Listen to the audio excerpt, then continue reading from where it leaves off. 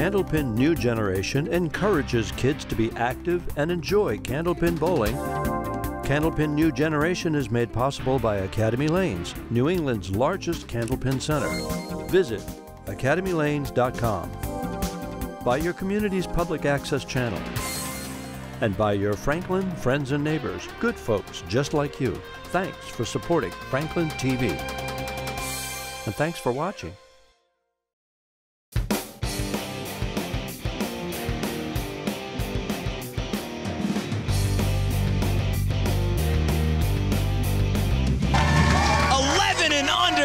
Group here on Candlepin New Generation.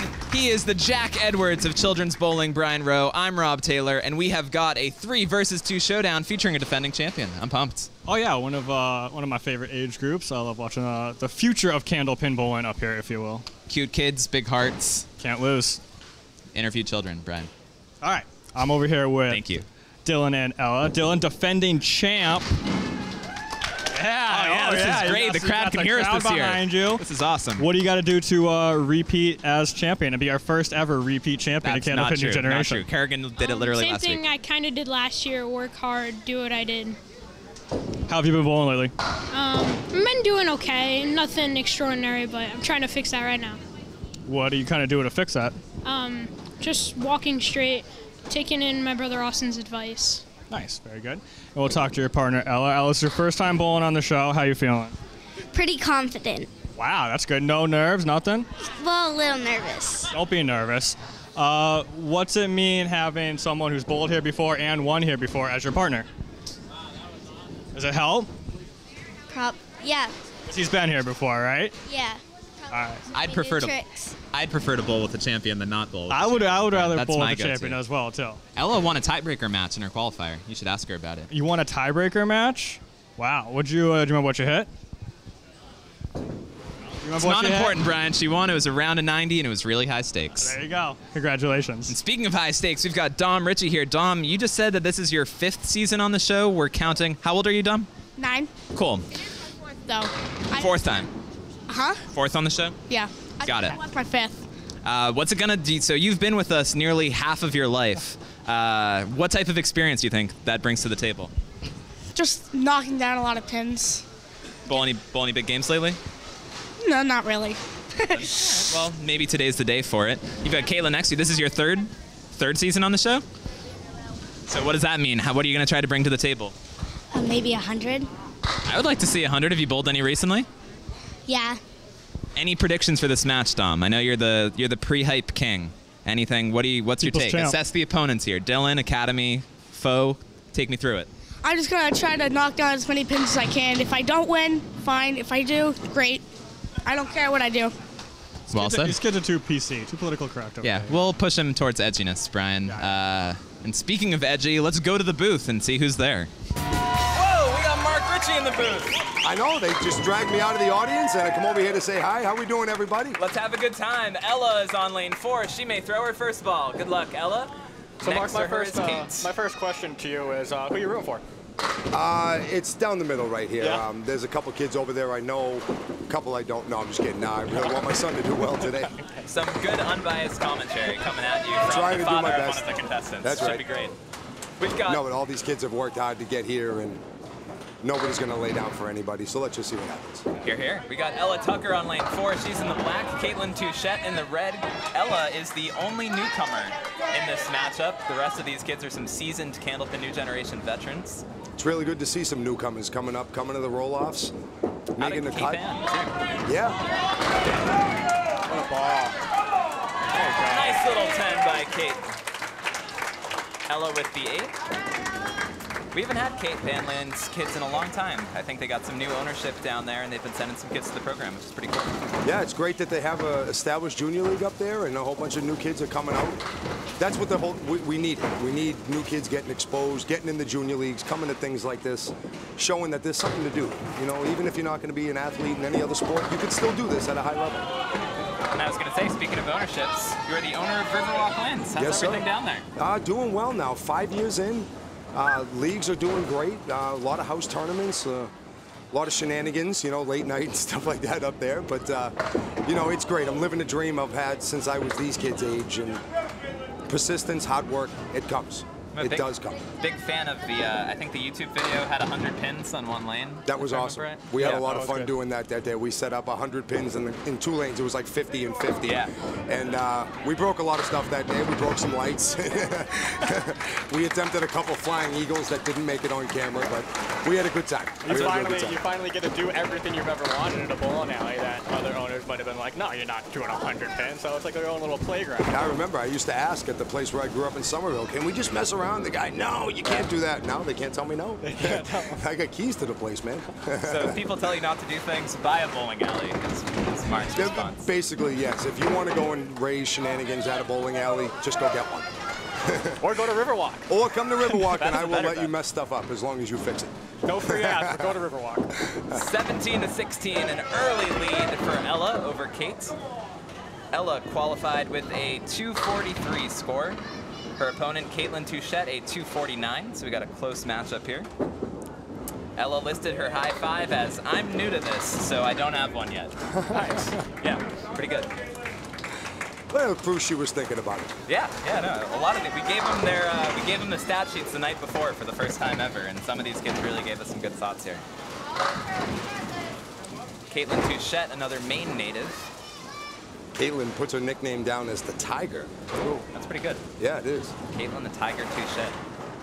That Ella just flows nice know. off the tongue. I like that. That flows good. Do you have a nickname, Mark? I feel like for someone with as high energy as you, I feel like I don't know any. any Uh, of them. Ever since I was a kid, everybody just has been calling me Maki.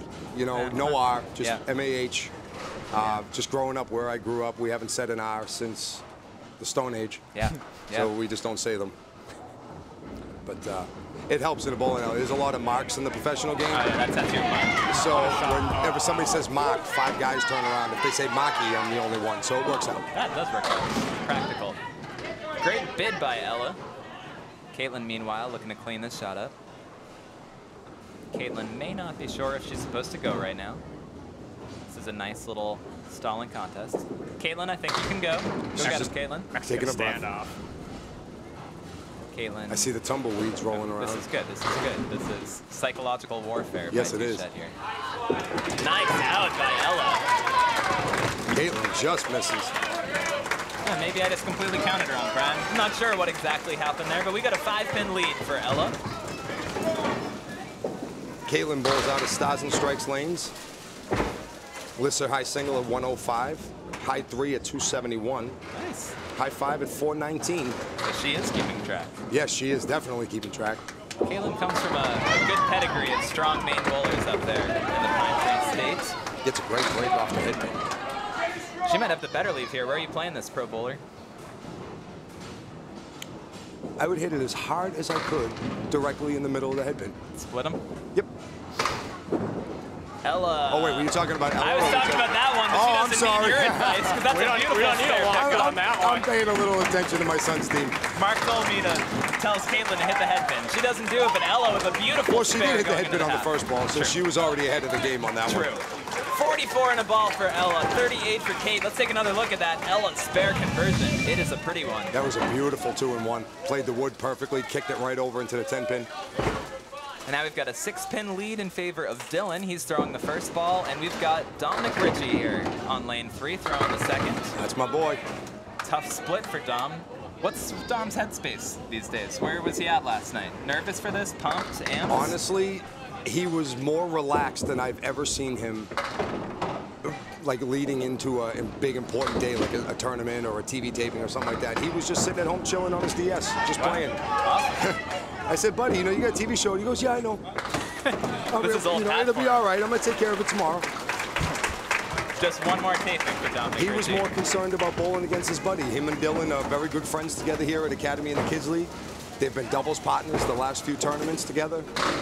He was just telling me before we came in here today, he's like, I don't want to bowl against my buddy. I said, One of "Well, them's got to win. Sometimes you have to, man. Even in the pro game, we have to bowl against our best friends. And before the match, we're great buddies. During the match, we're trying to win. And then afterwards, we all hang out together. Uh, it goes That's back to being buddies. Candlepin. That's right.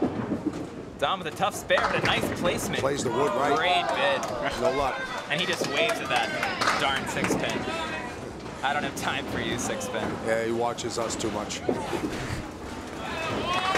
10 by Atta boy, good 10 there, buddy. So four pins the lead in favor of Ella and Dillon. Dom shipping away though through two. What's Dom's high single mark off the top of your head? Dom recently threw a 130 at Riverwalk. He and I were having some fun having a game against each other. And he pitched a 130 at me. Thank God it was a string. I threw a 145. At a boy. So. Has he beat you yet? Thank, no, not yet. It's coming. Not yet. I'm almost 37. I'm going to get whooped by my son before he's even 10. but that's okay. That means he's doing That's what you something want, right. right? Yeah. That's right. Now, how, how easy did it come getting him into bowling? Was he right there, right from the beginning? He wanted Yes. to be a part of it? Ever since the womb, basically, when Melissa was carrying him, we were bowling in leagues. And once he got, he was about, I think, four or five months old, and I put a little golf ball in his hand, like he was just this little ball of fluff as a little baby. Yeah. I had him sat down, I put a golf ball in his hand, and I set up crayons like a few inches in front of him, and I had him throwing the ball at the crayons. Yeah, this wasn't forced upon at all. Yeah, Dom never had a chance of being a No, normal kid. th- th- he let's put it this way: he wasn't going to be a golfer. Like it just wasn't going to happen. It's just been in his blood. He's loved it, and he actually loves ten pin bowling too. Oh, great shot by Dillon. Great try by Dillon. Just Great try. left. Dom to the left. Yeah, we were talking about uh, the potential for a 10-pin, candle-pin, duck-pin combined tournament the other day. It would be so much fun. A bunch of us have sat around and joshed around about that. That it would be fun to do like three, three, and three. Yeah, exactly. Great ten, buddy. Great ten. That'd be wild. But see, the thing you have to do the candle pin first. Because if you do the other games, your arm's so stretched out from the heavy ball. Right. By the time you pick up a candle pin ball, it'll feel like a golf ball. Throw it through the ceiling. And then you're throwing it right through the ceiling. Yep. Yep. Have you been getting involved in the duck pin game at all? I have actually. Uh, there's some good friends of ours. The De Palma family runs a uh, duck pin house up in North Chelmsford. Okay. Little like six-lane house in the basement. It is the coolest little man cave bowling alley I've ever seen. Um, and they have these little handicap tournaments here and there. And uh, I've gone up there and completely embarrassed myself a few times. It's a good time though. but uh, I actually use duck pin. I go bowling duck pin to, uh, when I'm not rolling the ball so smoothly in candle pin. If I go through a little funk kind of thing, I roll some duck pin balls and it helps to get everything laid off a little bit. Yeah. But I'm still a candle pin Nice bowler for the, my whole life. I'll always love it. We're going to the ladies. Any last words, Mark, before we send you home? No, this is great. This is a real tight match right here. My buddy's doing well.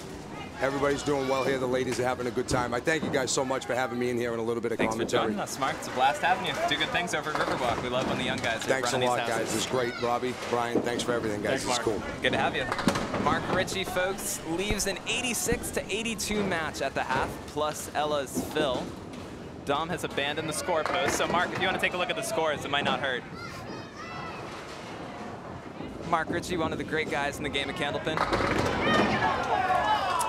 Ella with a nice bid for a second straight spare. Katelyn veers a little off.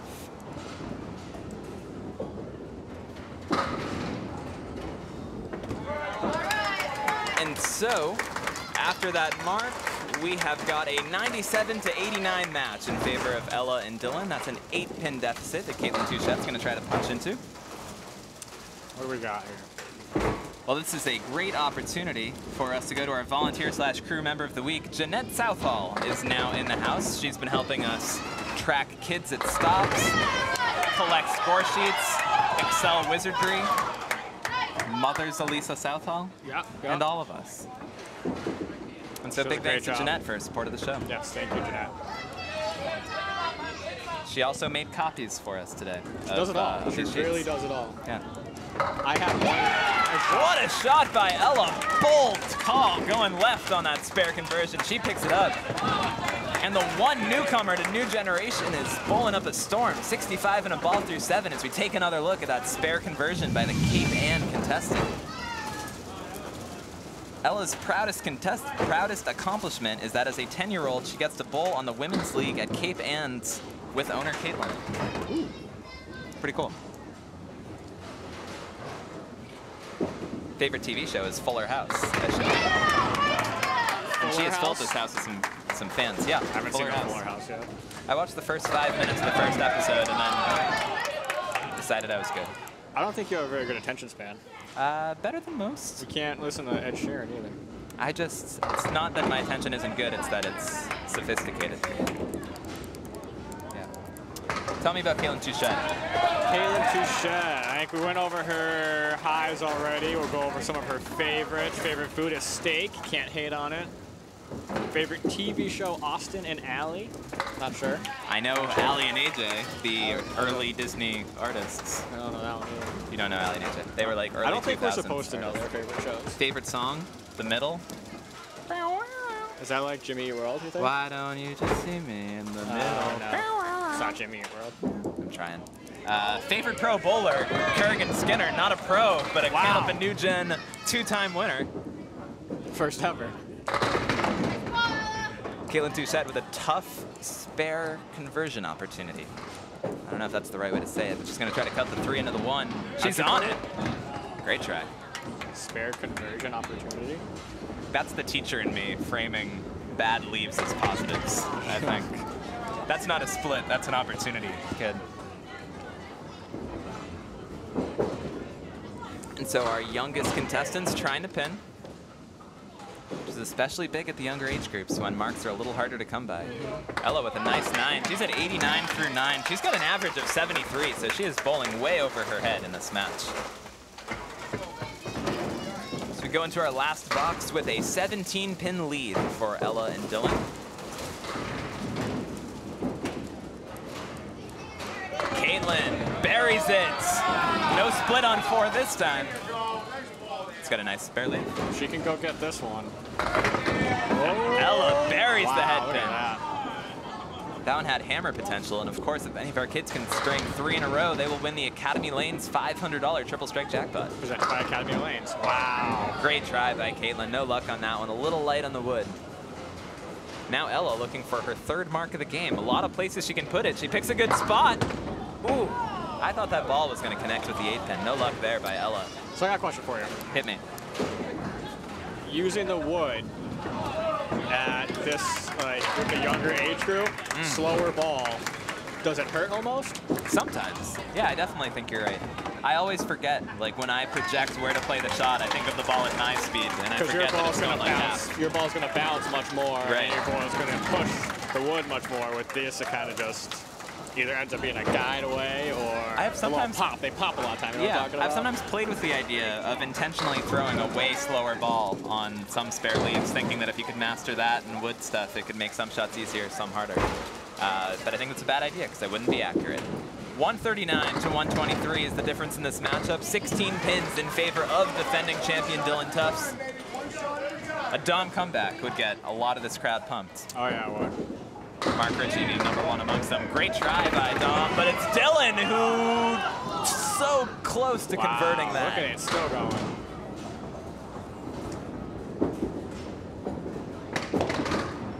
Nice out by both contestants, a pair of nines. Dillon, a Londonderry native. Where? Londonderry, New Hampshire, Londonderry. with the nickname of Dill. Dill pickle. Dill Pickle. Favorite song is Ispy. I have no clue what the heck that is.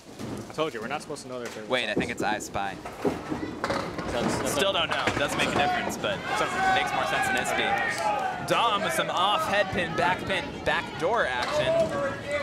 And in the words of Ranger Jim, that's a quacker. That's a quacker. Dom.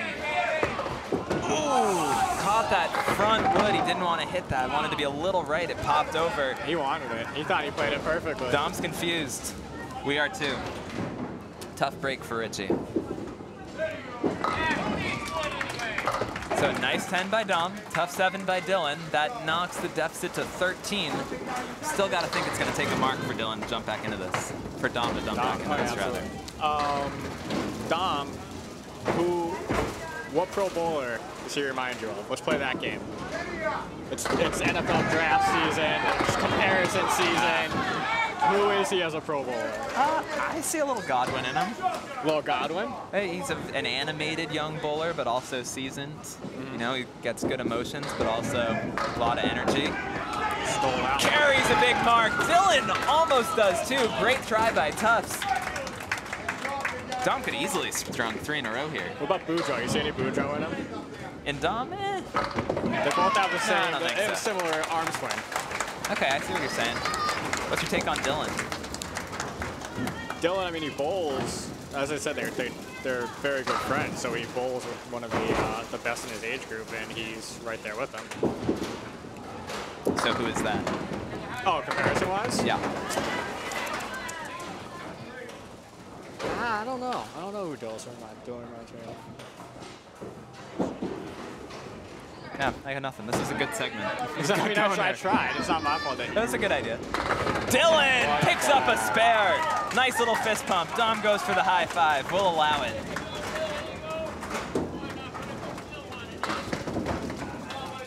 Dom with a tough out. So it's going to take some fireworks for Dom to catch him here. Dillon, 78 in the ball in the ninth. He's got a 14-pin lead he's sitting on. So a big ball here closes this one and puts him in a title matchup with Julia Jones and Angel Figueroa. And it looks like he has clinched it, folks. So a strong performance by Ella Tucker and defending champion Dillon Tufts. He's going to have a chance. Yeah, absolutely. To defend his Throwing champion. a good ball. Um, not a lot of uh, Chance to go back break to back. there. Chance to go back to back. First ever in the show history. He's got a smooth ball. He does. Dom with a nice eight. He finishes with a very strong Oh, come on. 90 game. Dillon with a 10 on the victory ball. He finishes at 92. 189 to 169 is the matchup. We're going to talk to Ella and Dillon right now. We are here with the victors, Ella and Dillon. We'll start with Ella. Ella, first time, first time bowling on the show. You threw uh, a 97. You happy with that? Yeah. Yeah, you were just saying something happened in the, towards the end of your match. What's going on? Um, so the last ball I threw, I hit myself in the ankle with the ball. You all right? Yeah. Do you think it's going to uh, to affect the next round at all? No. No, so Shake it off. it's got to shake it off just like that. Going into the championship match, how are you going to win it all? Try to keep it straight. Did you think you did a good job keeping it straight this last time? Yes. I thought you did too. Uh, 97, you're going to do better or worse? Probably better. Yeah, you're going to do better. I'm Don't looking even think forward to it. it. Great bowling by Ella. I'm here with Dillon. Dillon, you're one win away from title defense and a repeat. What is it going to take to get that victory? Um, work hard, do uh, what I was doing at the end of this string um, with um, my head pin sp- spares and stuff like that. Yeah, you really found it in the second half. Did you change anything up? Yeah, I kind of took in what my brother was telling to me beforehand, and I kind of wasn't using that when I first started, so I started using that then. Cool. Great. That's the point of siblings. That's awesome. Uh, so you just defeated an Academy contestant. Now you're going up against Julia Jones. What's the relationship there? Um, Do you guys bowl together in the league? um, no. Uh, we did bowl again uh, with each other with um, one of my other friends. I don't think he bowls anymore. I think it was 2014 or something. Gotcha. Well, we're going to have some Academy contestants in the finals. We've got Angel Figueroa coming too, the one seed. First Ooh. time meeting him on the show. Should be a good time. I'm excited. Championship match, always great. Always a good time. You better not miss it. It's 11 and under title time next week on Candlepin New Generation, coming to you from Academy Lanes. And on behalf of our Franklin TV friends, don't go anywhere. A week from now, 11 and under championship time. Candlepin New Generation encourages kids to be active and enjoy candlepin bowling. Candlepin New Generation is made possible by Academy Lanes, New England's largest candlepin center. Visit academylanes.com. By your community's public access channel. And by your Franklin friends and neighbors, good folks just like you. Thanks for supporting Franklin TV. And thanks for watching.